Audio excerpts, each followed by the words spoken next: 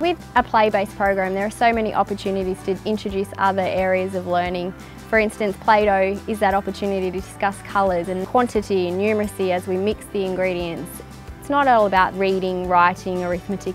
Emotional social skills are just as important for that transition to school.